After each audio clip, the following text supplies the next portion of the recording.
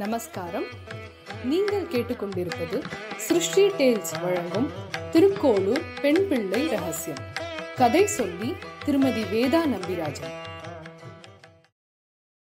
என் அன்பான குழந்தைகளா வேதா பாட்டியோட ஆனந்தமயமான உலகத்தில் நம்ம திருக்கோளூர் தோழி எதிராஜர்கிட்ட சொல்கிற வாக்கியம் இங்கில்லை என்றேனோ ததிபாண்டனை போல.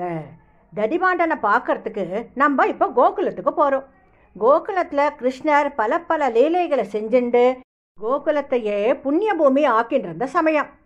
அங்கே கோகுலத்தில் ஒரு தயிர் வியாபாரி. தினமும் அவர்கிட்ட இருக்கிற ஒரு பெரிய பானையில் நிறைய தயிரை எடுத்துண்டு கோகுலத்து வீதிகளில் தயிர் வாங்கலையோ தயிர் தயிர் வாங்கலையோ தயிர் அப்படின்னு கூவிண்டே போய் தயிர் வித்துண்டு வருவர். இப்படி அவர் அந்த இடங்கள்லாம் சுற்றி தயிரெல்லாம் வித்துட்டு அவரோட வீட்டுக்கு வரச்சே மத்தியான வேலையே ஆயிடும். அதுக்கப்புறம் அவர் குளிச்சுட்டு சாப்பாடு சாப்பிட்டுட்டு அவரோட பெரிய பானையில் தலையை வச்சுண்டு படுத்துண்டு கொஞ்சம் இழைப்பாருவர் நதினா தயிர் பாண்டம்னா பானை. இவர் தயிர் பானையோடையே எப்பவும் இருக்கிறதுனால இவர் பேரே ததிபாண்டன் அப்படின்னு ஆயிடுத்து. இவரும் இவரோட பானையும் இணை பிரியாதவா? ஒத்தரை விட்டு ஒத்தர் பிரிஞ்சதே இல்லை. ததிபாண்டனுக்கு கிருஷ்ணரை பற்றி ரொம்ப நன்னா தெரியும். அவர் யார் அவர்தான் பரம்பொருள்ங்கிற விஷயமெல்லாம் தெரிஞ்சதுனால சதா சர்வகாலம் கிருஷ்ணரை ஸ்மரணம் பண்ணிட்டே வாழ்ந்துட்டு வந்தார். இப்போ நம்ம கிருஷ்ணரோட லீலை ஒன்றா பார்ப்போம் ஒரு நாள் யசோதை குட்டி கிருஷ்ணனை தன் மடியில் வச்சுண்டு கொஞ்சிண்டு குலாவிண்டு ரொம்ப சந்தோஷமாக ரெண்டு பேரும் இருந்தாள் அந்த சமயத்தில் யசோதைக்கு தோணித்து அடுப்பில் பால் வச்சுருக்கோமே பொங்கி வழிஞ்சிருத்தோ? அப்படின்னு தோணினதுனால முல்ல கிருஷ்ணரை கீழே விட்டுட்டு அவள் பாலை பார்க்க போனான் இத்தனை நேரம் அம்மா மடியில் கொஞ்சிண்டு குலாவிண்டு ஆனந்தமாக படுத்துட்டு இருந்த குழந்தை கீழே விட்டுட்டு போன உடனே குழந்தைக்கு ரொம்ப கோபம் வந்துடுது கண்ணனுக்கு பயங்கர கோபம். நான் பெருசா பால் பெருசா? அப்படின்னு தோணித்து இப்படியே சுற்றி பார்த்தான் யசோதை முன்ஜாகிரதையாக எல்லா பானைகளையும் அதாவது தயிர் வெண்ணெய் பால் நெய் எல்லா பானைகளையும் கிருஷ்ணனுக்கு எட்டாத மாதிரி உரியில் கட்டி மேலே வச்சிருக்கா. அந்த மாதிரி மேலே வச்சிருக்கிறத பார்த்தோன்னே கண்ணன் என்ன பண்ணினா தன் நண்பர்கள் எல்லாம் கூட்டின்டான் ஆளுக்கு ஒரு கம்பை கொடுத்தான் எல்லாரும் சேர்ந்து உரியில் கட்டி வச்சிருக்கிற பானைகள் எல்லாம் போட்டு அடி அடின்னு அடிச்சா தயிர் பால் வெண்ணெய் நெய் எல்லாம் அப்படியே கீழே ஒழுகிறது இவா மேலேயும் நனையக்கிறது கீழே ஆறா பெருகி ஓடுறது.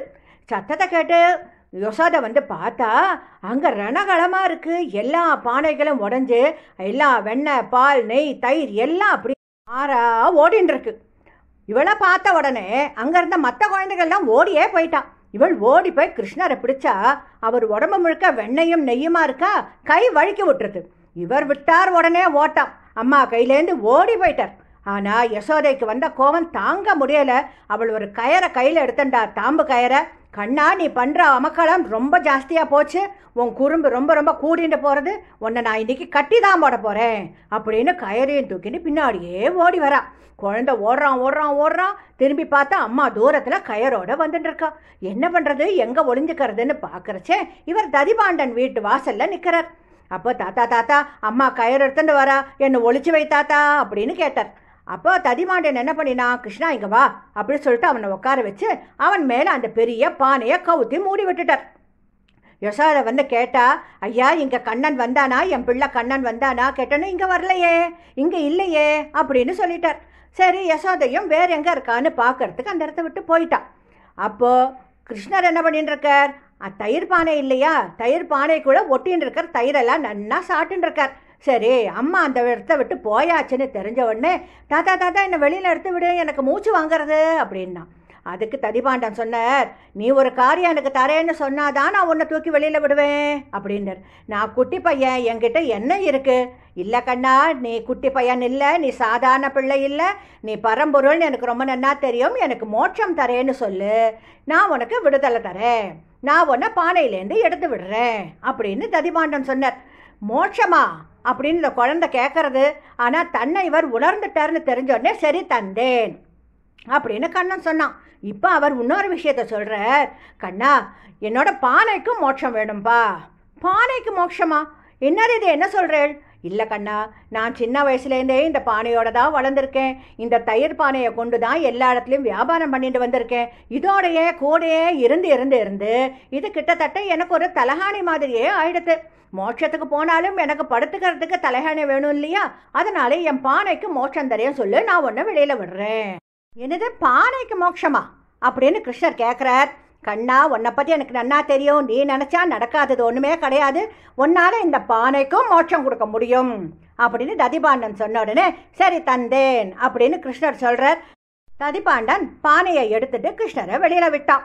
ஒரு பொய் சொல்லி உங்களுக்கும் உங்களோட பானைக்கும் மோட்சம் வாங்கின்ட்டேளே இந்த மாதிரி நான் யாருக்குமே இதுவரை கொடுத்ததே இல்லைன்னு சொல்லிட்டு சிரிச்சுண்டே கண்ணன் துள்ளி குதிச்சுண்டு ஓடி போகிறான் சர்வ வியாபியான பகவானை இங்கே இல்லைன்னு ஒரு பொய்யை சொல்லி மோட்சத்தை அடைந்தார் ததிபாண்டர் இப்படி கண்ணனுக்காக ஒரு பொய் கூட நான் சொல்லாமல் என் வாழ்க்கை வீணாயிடுத்தே. எனக்கு என்ன தகுதி இருக்கு இந்த வைத்தமாநிதி பெருமாளை சேவிச்சுன்னு இந்த ஊரில் தங்கறதுக்கு? அப்படின்னு சொல்லிட்டு திருக்கோளூர் பெண் சொல்கிறா ராமானுஜர் ரொம்ப ரசித்து கேட்டார் இந்த கதையை. கண்ணனோட லீலைகள் சொல்லி சொல்லி முடியாது. அவ்வளோ விதவிதமாக அற்புதமாக இருக்கும். அதில் ஒரு லீலை கேட்டதில் அவருக்கும் ரொம்ப பெரிய சந்தோஷம். ஆமாம்மா பொய் சொன்னாலும் மோட்சம் கிடைக்கும். ஆனால் அதுக்கு பெருமாளோட அனுகிரகம் வேணும். அந்த அனுகிரகத்துக்கு நம்ம கொடுக்க வேண்டியது ரொம்ப சின்ன விஷயம். நம்பிக்கை பக்தி அப்படின்னு ராமானுஜர் சொல்லிட்டு அடுத்தது யாரை பற்றி தெரிஞ்சுக்க போகிறோம்னு கேட்குறார் அதுக்கு அந்த திருக்கோளூர் தோழி சொல்கிறா காட்டுக்கு போனேனோ பெருமாளை போல. ரொம்ப அருமையான விஷயம். நம்மளுக்கு எல்லாம் தெரிஞ்ச விஷயம்தான். அதோட புது பரிமாணம் நம்ம அடுத்த தொடர்ல பார்ப்போம். ராம் ராம். ஜெயராம். வேதா பாட்டியோட ஆனந்தமயமான உலகத்துல நம்ம திருக்கோளூர் தோழி எதிராஜர்கிட்ட சொல்கிற வாக்கியம் இங்கில்லை என்றேனோ ததிபாண்டனை போல. ததிபாண்டனை பார்க்கறதுக்கு நம்ம இப்போ கோகுலத்துக்கு போகிறோம் கோகுலத்தில் கிருஷ்ணர் பல பல லீலைகளை செஞ்சுண்டு கோகுலத்தையே புண்ணிய பூமி ஆக்கிட்டு சமயம். அங்கே கோகுலத்தில் ஒரு தயிர் வியாபாரி.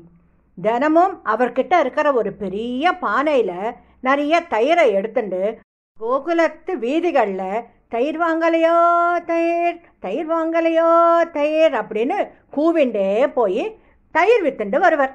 இப்படி அவர் அந்த இடங்கள்லெல்லாம் சுற்றி தயிரெல்லாம் வித்துட்டு அவரோட வீட்டுக்கு வரச்சே மத்தியான வேலையே ஆயிடும். அதுக்கப்புறம் அவர் குளிச்சுட்டு சாப்பாடு சாப்பிட்டுட்டு அவரோட பெரிய பானையில் தலையை வச்சுண்டு படுத்துண்டு கொஞ்சம் இழைப்பாருவர் நதினா தயிர் பாண்டம்னா பானை. இவர் தயிர் பானையோடையே எப்பவும் இருக்கிறதுனால இவர் பேரே ததிபாண்டன் அப்படின்னு ஆயிடுத்து. இவரும் இவரோட பானையும் இணை பிரியாதவா? ஒத்தரை விட்டு ஒத்தர் பிரிஞ்சதே இல்லை. ததிபாண்டனுக்கு கிருஷ்ணரை பற்றி ரொம்ப நன்னா தெரியும். அவர் யாரு? அவர்தான் பரம்பொருள்ங்கிற விஷயம் எல்லாம் தெரிஞ்சதுனால சதா சர்வகாலம் கிருஷ்ணரை ஸ்மரணம் பண்ணிட்டே வாழ்ந்துட்டு வந்தார். இப்போ நம்ம கிருஷ்ணரோட லீலை ஒன்றா பார்ப்போம் ஒரு நாள் யசோதை குட்டி கிருஷ்ணனை தன் மடியில் வச்சுண்டு கொஞ்சிண்டு குலாவிண்டு ரொம்ப சந்தோஷமாக ரெண்டு பேரும் இருந்தா. அந்த சமயத்தில் யசோதைக்கு தோணித்து அடுப்பில் பால் வச்சிருக்கோமே பொங்கி வழிஞ்சிருத்தோ? அப்படின்னு தோணினதுனால முல்ல கிருஷ்ணரை கீழே விட்டுட்டு அவள் பாலை பார்க்க போனான் இத்தனை நேரம் அம்மா மடியில் கொஞ்சிண்டு குலாவிண்டு ஆனந்தமாக படுத்துட்டு இருந்த குழந்தை கீழே விட்டுட்டு போன உடனே குழந்தைக்கு ரொம்ப கோபம் வந்துடுது கண்ணனுக்கு பயங்கர கோபம். நான் பெருசா பால் பெருசா? அப்படின்னு தோணித்து இப்படியே சுற்றி பார்த்தான் யசோதை முன்ஜாகிரதையாக எல்லா பானைகளையும் அதாவது தயிர் வெண்ணெய் பால் நெய் எல்லா பானைகளையும் கிருஷ்ணனுக்கு எட்டாத மாதிரி உரியில கட்டி மேலே வச்சுருக்கான் அந்த மாதிரி மேலே வச்சிருக்கிறத பார்த்தோன்னே கண்ணன் என்ன பண்ணினா தன் நண்பர்கள் எல்லாம் கூட்டின்டான் ஆளுக்கு ஒரு கம்பை கொடுத்தான் எல்லாரும் சேர்ந்து உரியில் கட்டி வச்சிருக்கிற பானைகள் எல்லாம் போட்டு அடி அடின்னு அடித்தா தயிர் பால் வெண்ணெய் நெய் எல்லாம் அப்படியே கீழே ஒழுகிறது. இவா மேலேயும் நனையக்கிறது கீழே ஆறா பெருகி ஓடுறது.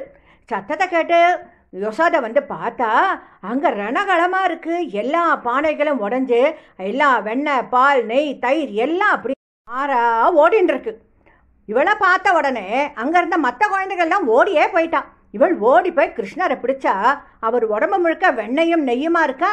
கை வழுக்கி விட்டுருது இவர் விட்டார் உடனே ஓட்டான். அம்மா கையிலேருந்து ஓடி போயிட்டார். ஆனால் யசோதைக்கு வந்த கோவம் தாங்க முடியலை. அவள் ஒரு கயரை கையில் எடுத்துண்டா. தாம்பு கயரை. கண்ணா நீ பண்ணுற அமக்களம் ரொம்ப ஜாஸ்தியாக போச்சு. உன் குறும்பு ரொம்ப ரொம்ப கூடிட்டு போகிறது உன்னை நான் இன்னைக்கு கட்டி தான் போட போகிறேன் அப்படின்னு கயரையும் தூக்கின்னு பின்னாடியே ஓடி வரா. குழந்தை ஓடுறான் ஓடுறான் ஓடுறான். திரும்பி பார்த்தா அம்மா தூரத்தில் கயரோட வந்துட்டு இருக்கா. என்ன பண்ணுறது எங்கே ஒளிஞ்சுக்கிறதுன்னு பார்க்குறச்சே இவர் ததிபாண்டன் வீட்டு வாசலில் நிற்கிறார் அப்போ தாத்தா தாத்தா அம்மா கயிறு எடுத்துட்டு வரா. என்னை ஒழிச்சு வை தாத்தா அப்படின்னு கேட்டார்.